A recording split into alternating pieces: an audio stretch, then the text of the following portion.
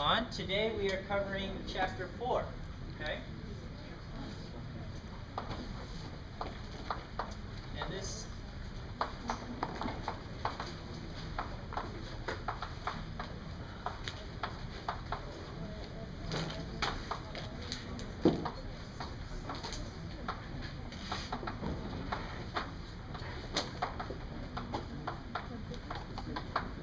Alright. So early on, early on in the course, we talked about the different types of variables. There's categorical variables and there's numeric variables. And when it came to categorical variables, we could summarize them with how do you how can what's one way to summarize the categorical variables? Do you guys remember? Numbers? Okay. I was looking for something a little more specific. Um, Chart. Okay, what kind of chart or table? Okay, a bar chart is one way, or, or pie chart, that's fine. Uh, if we want to use a table, do you remember, do you remember what it was called? Stack. It's uh, a frequency table, a frequency table, okay? So this is an aside, okay? So this is not part of that, okay? So this is just an aside. So for a categorical variable,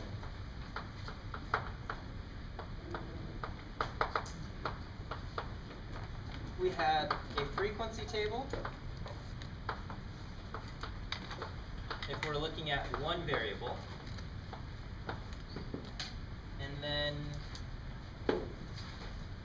if we have two variables, what would we use? A two-way table, okay? So frequency table we're looking at one categorical variable, and if we're looking at two categorical variables, we create a two-way table.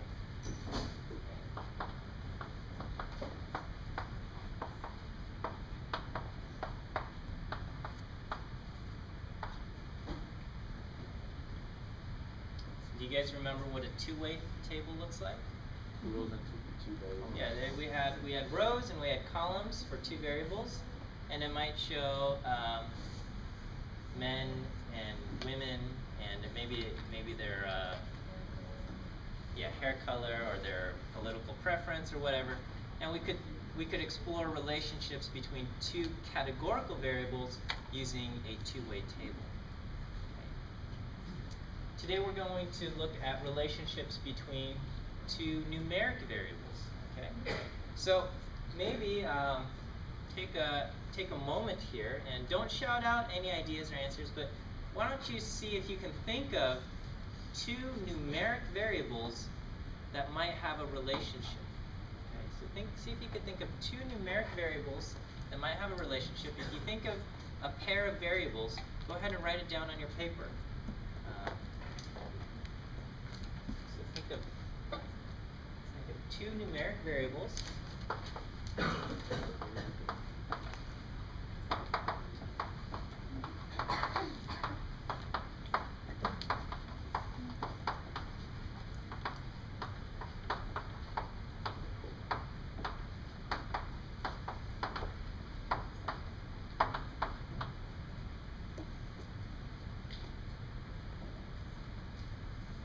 And then, uh, if you are so bold, uh, you know, you can raise your hand and I'll call on you, and you can tell me what you think is a pair of variables that might have a relationship, and uh, and I'll I'll try to tell you if that that would work or that would not work in our, our example. So, um, do we have any volunteers for two numeric? Okay, yes, so, so two. Uh, weight and height? Height and weight. That's an excellent example of two vari- two numeric variables. Height and weight. These are two numeric variables that uh, I would say definitely have a relationship. Okay. Other other pairs of numeric variables that might be related. Yes. Maybe like the amount of gas you get to like in relation to how many miles you drive. Okay, so the amount of gas consumed to the distance driven. Okay, great. Okay, so quantity of gas consumed and distance driven. Okay, excellent. two numeric variables that are related, yes. Uh, how many miles you run and how many, how much calories you burn. Okay, so distance ran and calories burned. Great.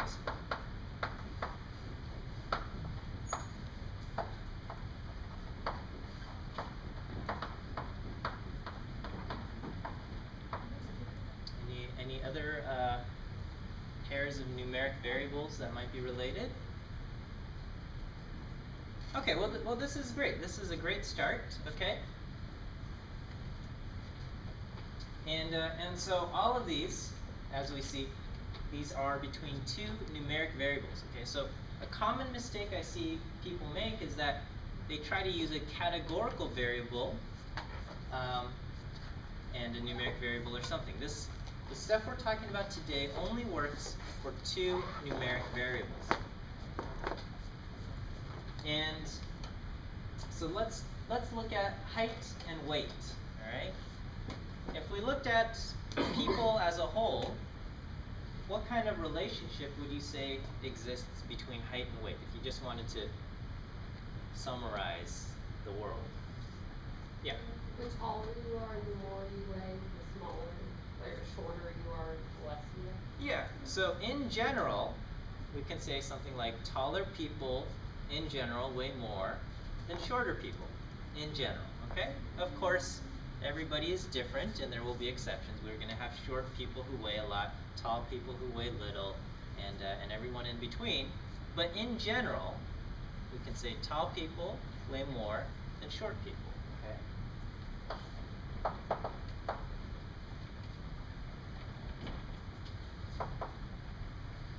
taller people uh,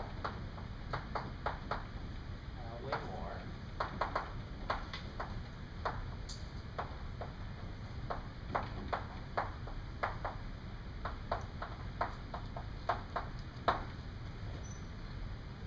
All right. Similar thing going on with quantity of gas consumed and the distance driven.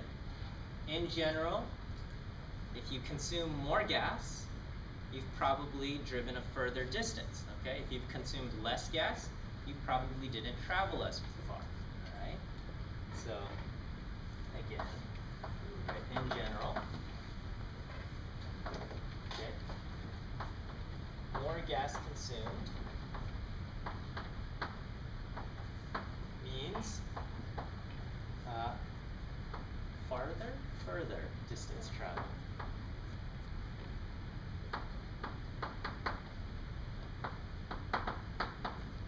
This one's al- this is always one that gets me. Not quite sure. Well, it's a good thing I teach statistics and not English grammar or usage. Although I would say my grammar and usage is probably better than most, but that one I'm a little tripped up on. Okay, and distance ran and calories burned. Also, in general, the farther or further you've run, the more calories you've burned. Okay. So, all of these, all right. So these are all relationships between two numeric variables, and when we explore numeric variables, okay, uh, relationships between numeric variables, there's several things we want to talk about. Okay.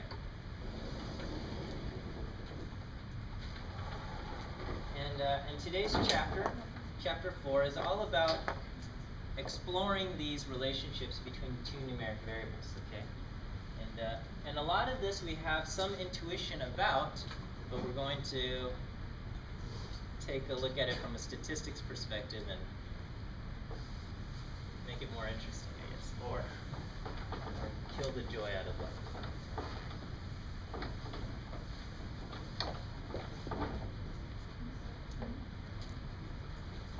Okay, so when describing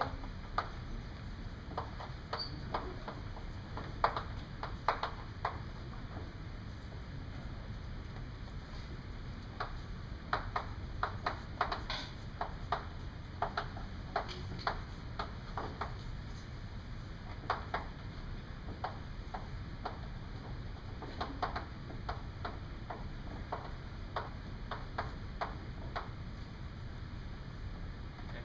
So actually, whenever you describe a relationship, there's always things you want to know, okay? And So if you describe a relationship between two people, um, you know, there's things you want to know. You want to know how long have they been together. You know, is it a good, healthy relationship, or is it you know unhealthy? I don't know. There's there's things that you can talk about when it, you're talking about um, two people. Uh, same same idea when we're talking about two numeric variables. Um, there's a there's a few things you definitely want to know. Okay, one is the form of the relationship. Okay. Another is the direction. And last, we want to know the strength. Okay.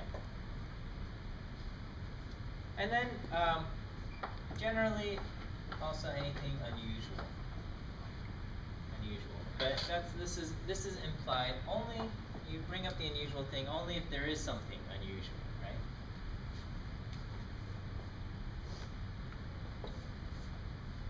right? Um,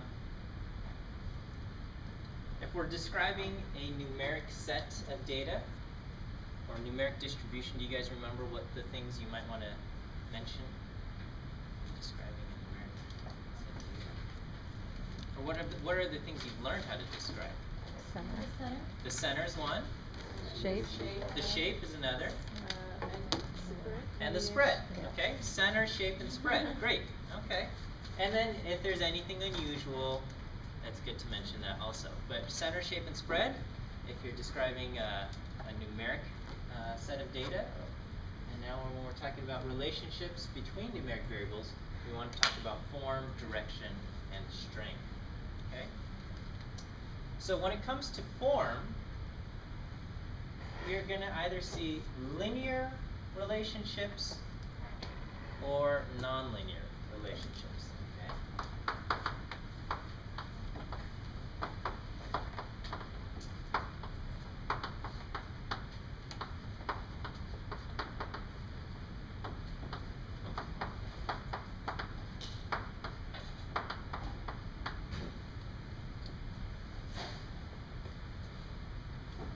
Okay, so let's um, let's explore form linear versus nonlinear relationships a little bit more.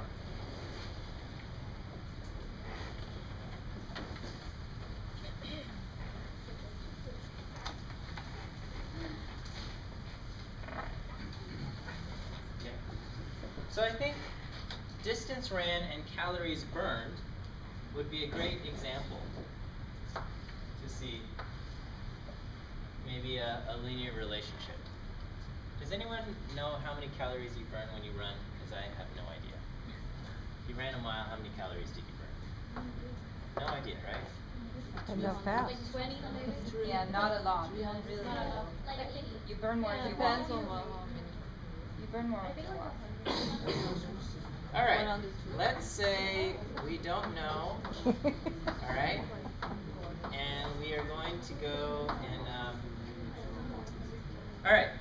Well, everybody's different, right? If I run a mile, I'm going to burn so many calories. If somebody else runs a mile, she or he's going to burn a different amount of calories. Okay. So let's say, and then, you know, how do you even measure how many calories you burned, right? It's like, uh, it's all just a guessing game, right? You go on that treadmill and then you're running and it says this is how many calories you burned. It has no idea, right? It's not like nobody knows, right? The only way you can get a true measure is if you had some yeah, it's it's all a guessing game. So don't don't trust those treadmills or exercise bikes. They're just making things up, okay? They, you might be able to power a generator and they can say this is how much electricity you generated, which might be related to how many calories you burned, but nobody knows, right? Okay, so let's say um, if somebody burned, you know, somebody might run one mile and they burned, who knows, uh, 150 calories, okay? All right, somebody else might run a mile and they maybe burn a little bit more. Someone else burn, runs a mile and they might burn less, okay? Who knows? I'm just making up numbers. Please don't hold me to this, okay? I wish you burned that much. Huh? I wish You, you don't, you don't burn this many? Mm. Not even close, Not huh? one night, no. One mile, it takes you like uh, eight minutes to run. You can't burn uh, how many calories? Not that 40, much. 50? Yeah, okay. sort of like All right, all right, all right. So my fitness experts over here are disagreeing with the numbers I'm making up here. I don't think that many, yeah. Okay, Oh, whatever. whatever, This is fantasy land where the calories burn very quickly. All right. Okay, so if somebody runs burns this many calories in one mile, how many calories do we expect to burn after two miles? Maybe about double, right? So who knows? If this is whatever, I'm gonna just put dots up here, okay? And uh, and after three miles, we expect these people to burn more. Okay, it doesn't matter. And uh, and after four miles, we expect even more calories to burn.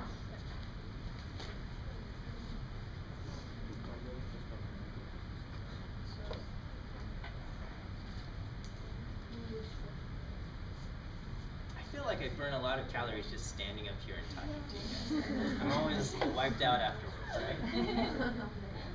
Okay. I want to eat and drink a milkshake afterwards. Alright, okay, so anyway, this, we would call this a linear relationship because we can kind of run a straight line through all of these dots where we see, you know, the, the farther you've run, the more calories you burn, and it seems to increase in a steady, very uh, linear fashion, a straight line. Okay, so linear means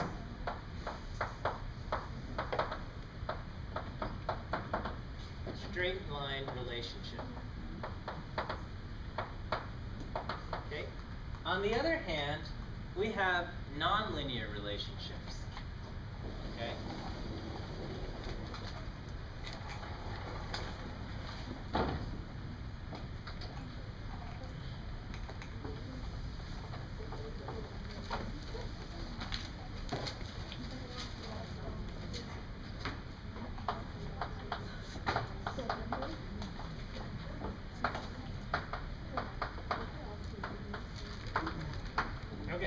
so you guys know about finance and how interest works? Yes? No? Some of you? Alright, well basically, whether you are earning interest by having money put away in a bank or a CD or some other savings thing or 401k or whatever, or if, uh, if you owe a company money, like their credit card, or you owe a bank money, and you've got interest, if you just let it sit there, it, the amount that you owe or the amount that you have is going to grow, okay? And they say it grows in an exponential rate, okay? And so, that, so it, it's still, the longer it sits there, the more money it grows, okay? So, um, so that's true, but the way it grows is not a straight line, but it grows like this, okay? So this is not a linear relationship, okay? So this is like after um, one year of savings, you're like, man, I didn't earn anything. But then after two years, three years, you know, ten years, et cetera, et cetera, et cetera, the amount that you've earned grows and grows and grows, and it grows even more and more and more, okay? So the dots go like this, and this would be a, this is this is called ex an exponential relationship.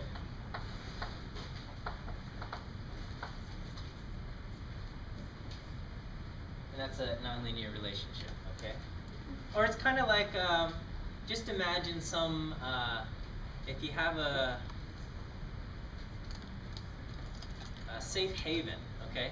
Let's say you own a ranch and you love rabbits, okay? And so maybe you get a pair of rabbits and they have some children, okay? And then those children have children, and those children have children, right? Pretty soon, after a few years, your whole place is overrun by rabbits. And why? Because the growth grows exponentially. Because it's not just the original parents that keep having children, it, but the children and the children, children, and the grandchildren. And rabbits, they um, they're not monogamous like. Um, well, like penguins, right? I was gonna say humans, but uh, I don't know qualifies anymore. Okay. Maybe uh, like humans once were, and uh, well, actually, in the beginning, probably uh, whatever. Okay. Anyway, anyway, it grows exponentially. Okay, because because they keep having um, more and more kids and things like that. So that's a nonlinear relationship. Okay, we got other relationships that that go like this. All right. So anything that's not a straight line, we say nonlinear. Okay. So in our class, we're only going to learn about linear relationships. If you take more statistics, let's say you love this chapter, and you're like, I love statistics, and I loved it, especially what we did in chapter 4, you can take an entire course that explores nonlinear and all sorts of other stuff, and, uh, and it's very exciting, but, um, but only if you love this chapter. So um, something tells me that not everybody will love this chapter. But yes, penguins. Well, actually, penguins are only monogamous for one season. Um, I believe uh, doves are monogamous their entire lives. Swans. And swans, yeah. And then they do that thing where they bow their heads together and it forms a heart, right?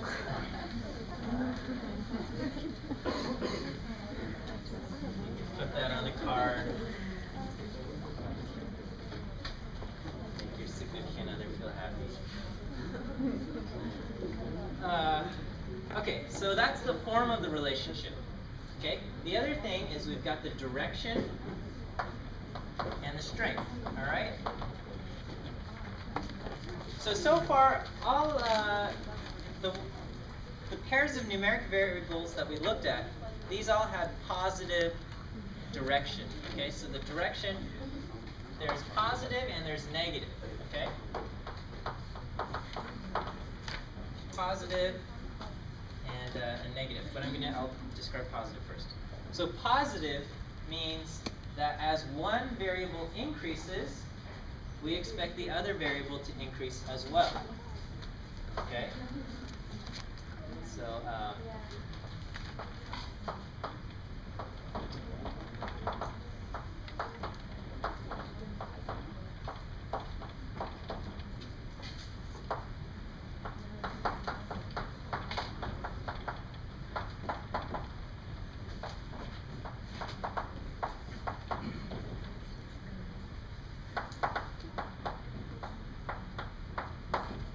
I expect the other variable to increase. To increase.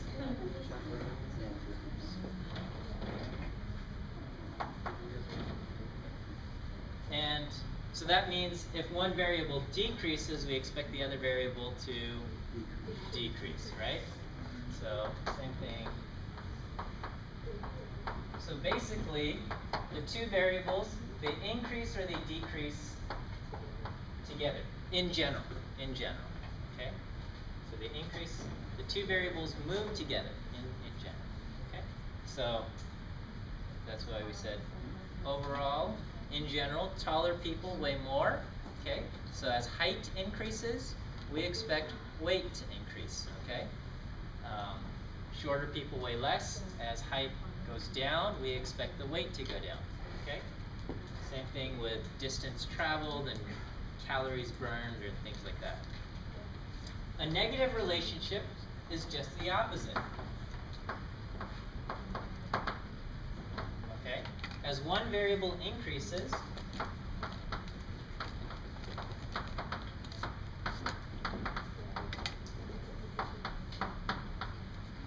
we expect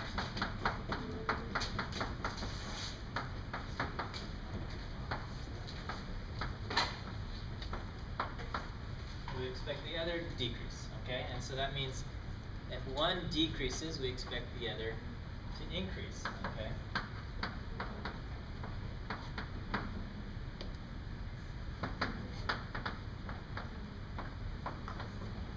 So that's a, a negative relationship.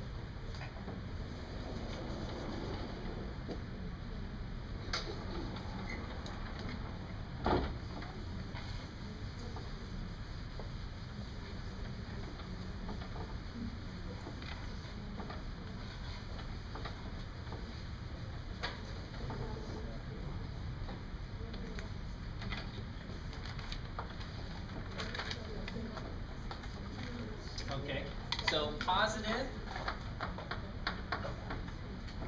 If we, uh, if we gathered enough data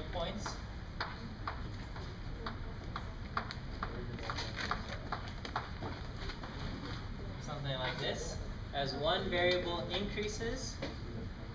So so to increase in the horizontal, this would be we would call this the x variable.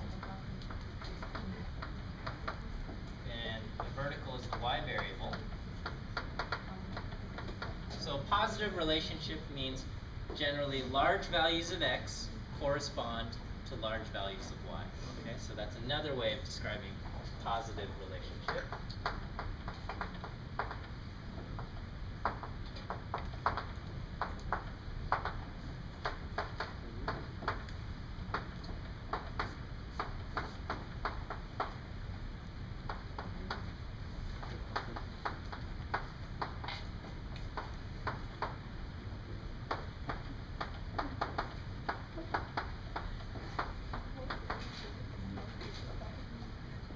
Okay.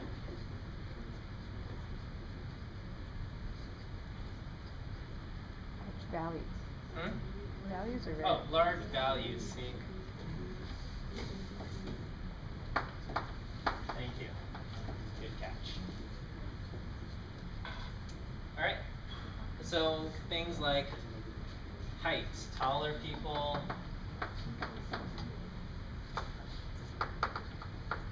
And weight, okay? Or distance ran. And uh, calories burned.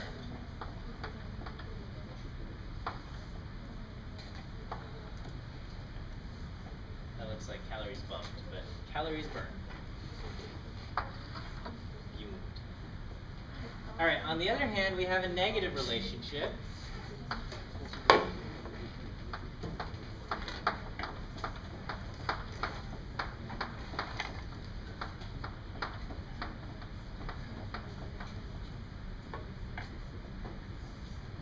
Okay.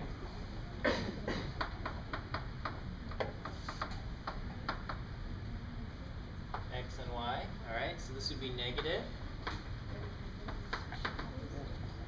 Alright, so we have large values of X correspond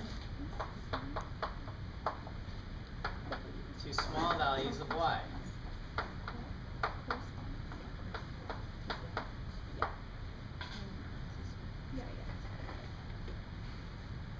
Okay, so let's uh, take a moment and, uh, and don't shout anything out, but see if you can think of a pair of numeric variables that would have a negative relationship. Okay, so see, if you can think of two numeric variables that might have a negative relationship. We saw several with positive relationships. See if you can think of two numeric variables with a negative relationship.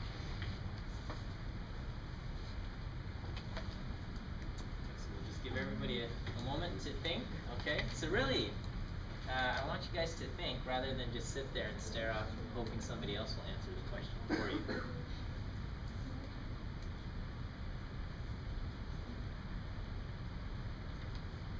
You can write you can write your answer down on your paper. Uh, all right, but we have uh, okay. So I saw a hand go up for uh, someone volunteering answer. Yes. The farther you drive, the less. Okay, so um, the distance you've driven and the amount of gas you have in your tank left. Okay, so that's a that's just a flip of kind of what we said earlier, but it works very well in terms of a negative relationship. So distance traveled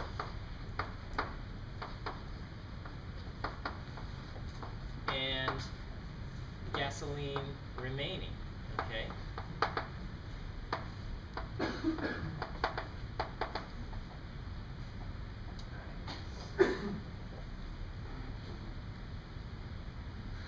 Okay, other other pairs of numeric variables that yes. Um, when you borrow money from someone and then you have to owe it back to them. Like the money that you owe them. Okay. Like, the negative balance variables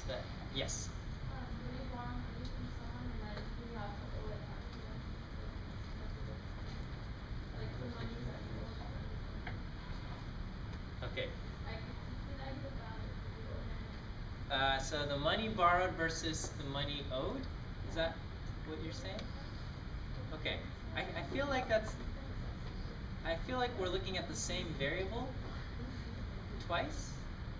Uh, or may- maybe I'm maybe I'm understanding it not the way you you're imagining it.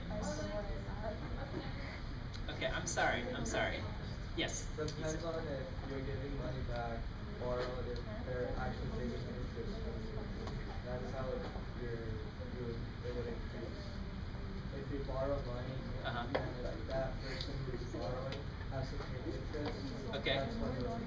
All right. Okay. So the amount borrowed and the amount owed With an interest. with a particular interest rate and a particular amount of time because if if- or if we're adding like three another dimension of how was just commenting on yeah okay okay uh, let, let, let's try something else here yes Maybe like the older you get, the less you sleep in general. Like a baby has a low oh okay know, okay something yeah like yeah all right so your age and uh, and um, and the, and the amount of sleep you get at night okay that, that that's true okay especially among children right and then well, and then somehow like when you're like I don't know. Teen, it goes six- yeah, yeah, okay, okay, okay. So, so age and sleep required.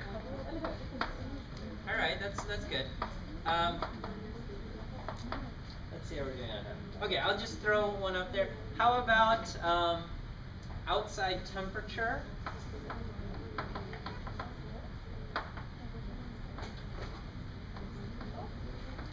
And uh, sweaters sold. And uh, maybe uh, the number of sweaters sold.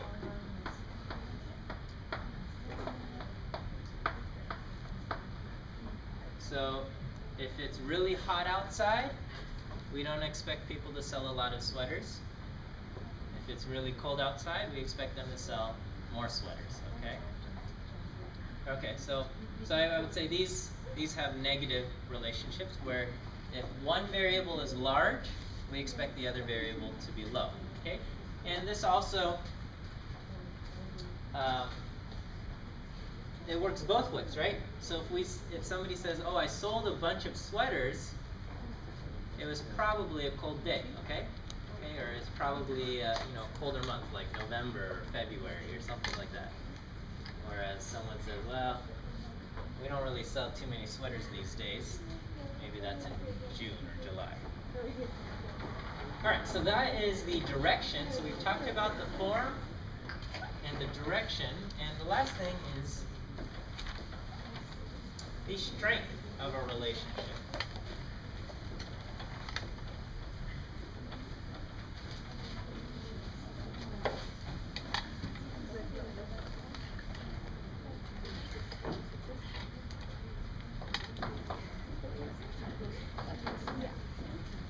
Okay?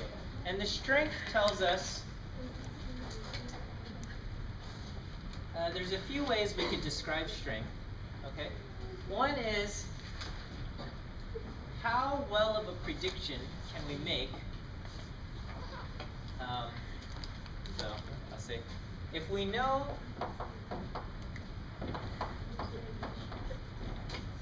the value of one variable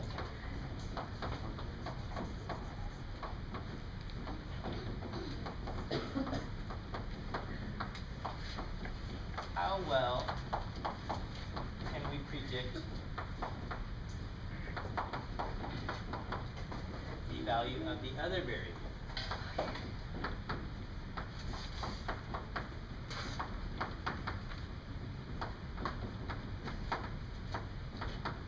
Okay, so that's one way to think of strength.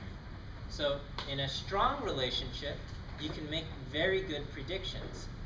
In a weak relationship, your predictions are going to be bad. Okay? So strong means good predictions. And weak means uh, not as good predictions.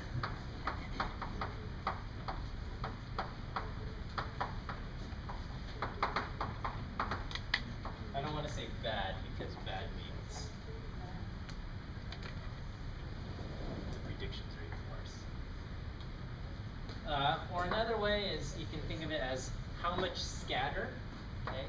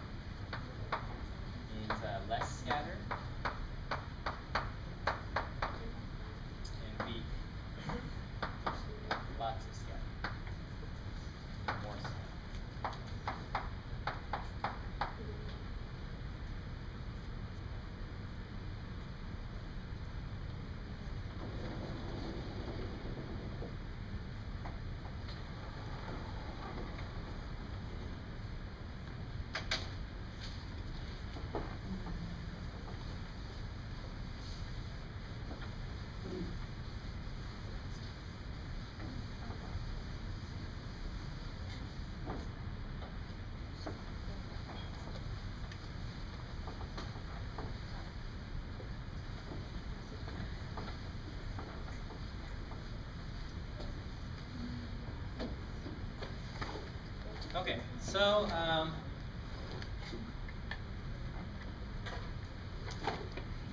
what would be a good example?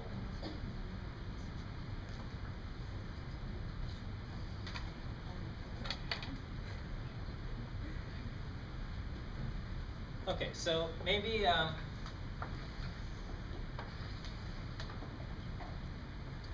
all right. So this is a very simple, silly example, we looked at the height of someone, height in inches, and we looked at height in centimeters?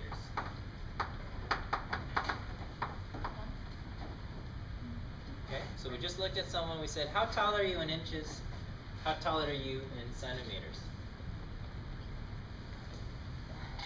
Well, we would have a positive relationship, okay? And do we have a strong or weak relationship there? Strong. Strong, okay? How how well can we predict the other variable if we know the value of one? Exactly. Very well. Exactly, right? In fact, we can predict the other answer exactly because we just say take your height in inches and we multiply it by 2.2, right? And so in that case, our dots are lined up exactly along this line, okay? So this is actually, um, our predictions would be exact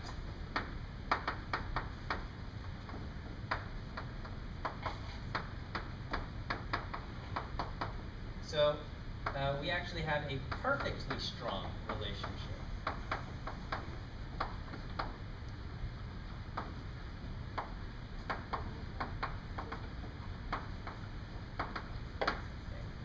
But this is, um, but that's a silly example because we would never really uh, do something like that. It's, it's completely redundant to do that. So we might have other relationships that are um, that would be strong, but maybe not not so perfect. Okay. Um, maybe we can measure um, the length of your foot, and uh, and we can look at the shoe size you wear. Okay. And and some people, because they have different people have slightly different uh, preferences to how tight or how loose their shoe ought to be. People with the same, if we looked at the length of foot, might wear slightly different shoe sizes. Okay, so we will see um, a tiny bit of scatter, but not a lot. Okay, so if we looked at um,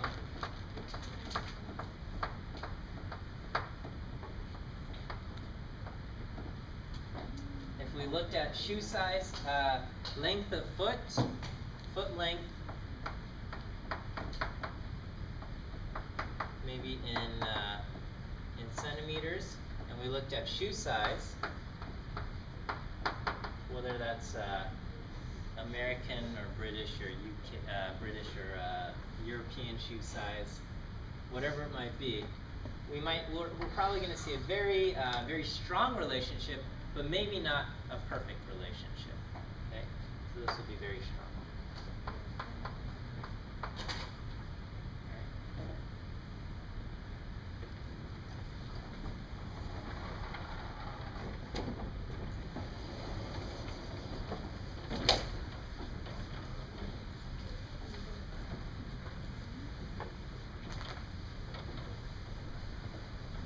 Okay. Um, maybe uh, we can have another relationship, but it might be weak. Okay. So maybe we look at someone's foot length, how long their foot is, foot length in centimeters, and uh, and we look at uh, the weight of the person. Okay. uh, or maybe not weight. Uh, man, we'll do we'll go with height. Okay, height. All right. In general, in general, people with larger feet tend to be taller than people with smaller feet. Okay. But we all know someone who's shorter than you that has bigger feet and someone who's taller than you with smaller feet and things like that. So this is not as good of a this is not as strong of a relationship, but in general, you would still have a positive relationship. Okay? So here we have a lot more scatter.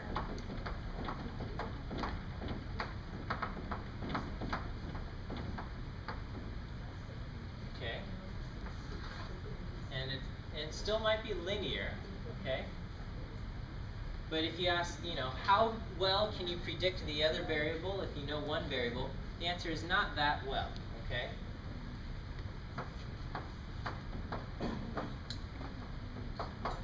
So over here, if you knew someone's foot uh, foot length, you could predict their shoe size very, very well. Okay, you might be off because they might prefer tighter shoes or or looser shoes. Okay? Over here, if you know their foot size, you might be able to predict whether they are taller than average or shorter than average. But beyond that, your predictions aren't going to be very great. Okay, and then lastly, there might be no relationship between two numeric variables. So we can look at foot length and, uh, and what might have no relationship. Um, Hair color. Uh, hair color is categorical, Oh, so we can't um, we can't do this. Uh, but maybe uh, IQ score, okay? IQ score. So so here we will have um, people with high IQs with little feet, people with high IQs with big feet, people with low IQs with little feet, people with low IQs with big feet, and everyone in between, okay? Average IQ people with big feet and small feet and average feet size, okay? So we probably see no relationship. Okay?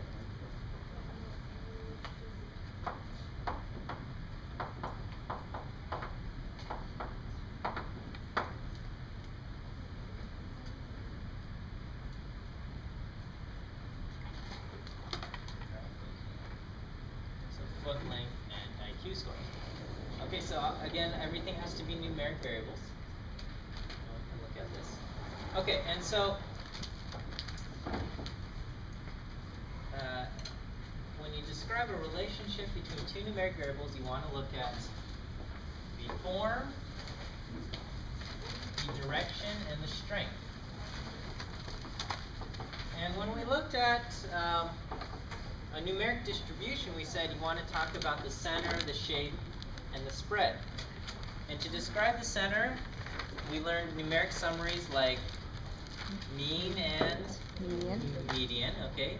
And to describe spread, we learned numeric summaries like Range. range, what else? IQR. IQR and standard deviation, okay? So here, we have a numeric summary.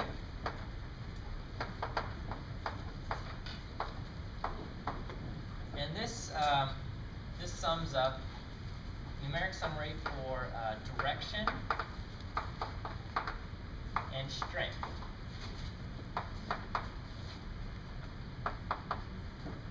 Okay? And this numeric summary is called the correlation.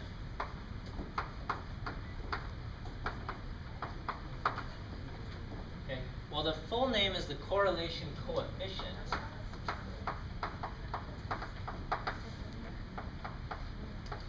Okay, but you can ignore coefficient because if we say correlation, we're assuming we're talking about the correlation coefficient. Okay. Coefficient just is a fancy word for saying a number. Okay. It's like the correlation number. But we like to say coefficient. It makes us feel fancy. Okay, and uh, and the symbol that we use for this is R. What was the symbol for mean? X bar. X bar, okay. What's the symbol for standard deviation? S, okay, good. Symbol for correlation is R, okay. There is a formula to calculate correlation. However, it's very tedious, okay? it's not incredibly hard, but it's very tedious. And you know, I, the standard deviation is about as tedious as I want to get anyway. Okay. Um, the way to calculate correlation is even worse. So for that, we're just going to leave it to computers, and we're going to say, computer, calculate the correlation for me. They're very good at it, and uh, and we're just going to um, either the correlation R will be given to you in a problem, or um, or something like that. Okay, so there is a formula, but we won't bother learning how to calculate correlation by hand. Okay, so we won't learn how to calculate R by hand, okay? Uh, we will ask a computer.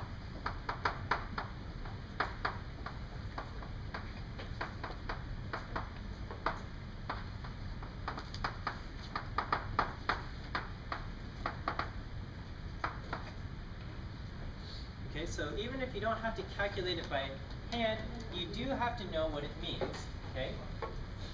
So this is very important. R can be any value between 0 and 1 inclusive, and I hope this notation is okay, meaning, I'm sorry, R can be any value between negative 1 and 1 inclusive. My apologies. R can be anything between negative 1 and 1 inclusive. Okay? What's inclusive? Inclusive means including one and including negative one, okay? So, um, inclusive, yeah, that means it can be any value between negative one and one, and it could also be negative one or one, okay? Inclusive. Okay, if R is positive, then the direction is what? Positive, okay? The direction of the relationship is positive. Okay? R R describes a relationship. Remember that? Direction of relationship.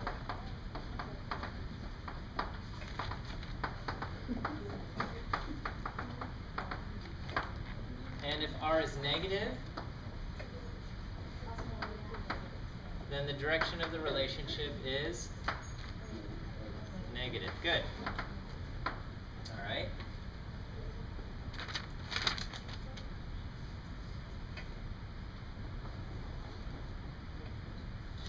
So far, so good. If r is far from 0,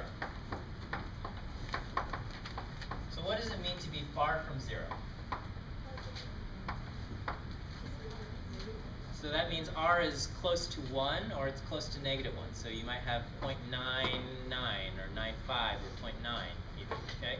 Or r is negative 0.9 or negative 0.95, okay? So if r is far from 0, then the relationship is strong.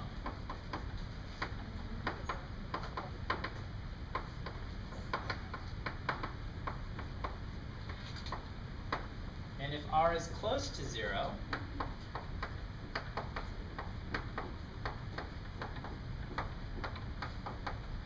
then the relationship is weak.